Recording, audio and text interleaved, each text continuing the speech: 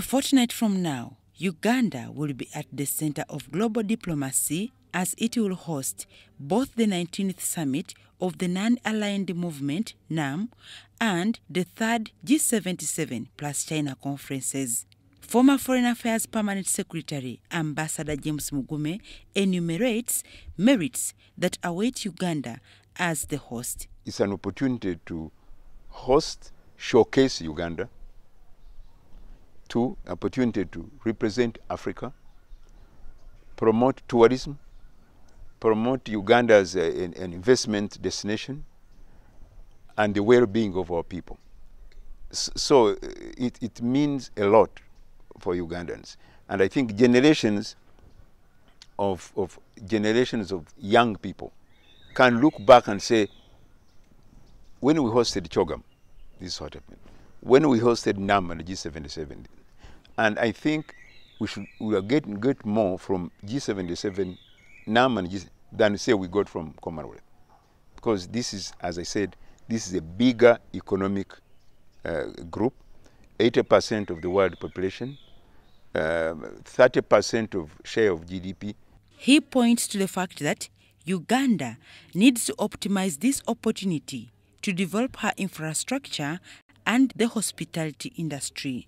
This is where, uh, in terms of market access for the African value chains, this is where resources to invest in our, our infrastructure, rail, road, energy, um, and, and, and, and, and uh, technology. And most of it you'll see it come within the G77, within the South-South cooperation. So for Ugandans, this is an important event. And for us, for Ugandans to remember, to keep remembering, is remove it from government to government only. Take it a, a, a tier down. Business to business, um, civil, civil society, civil society, academia, think tanks, so that uh, in schools, syllabus, in business, then you'll find that uh, we understand what is the benefit of NAM. However, Ambassador Mugume, a seasoned diplomat, advises organizers to avoid last minute preparations given that such international events are announced ahead of time.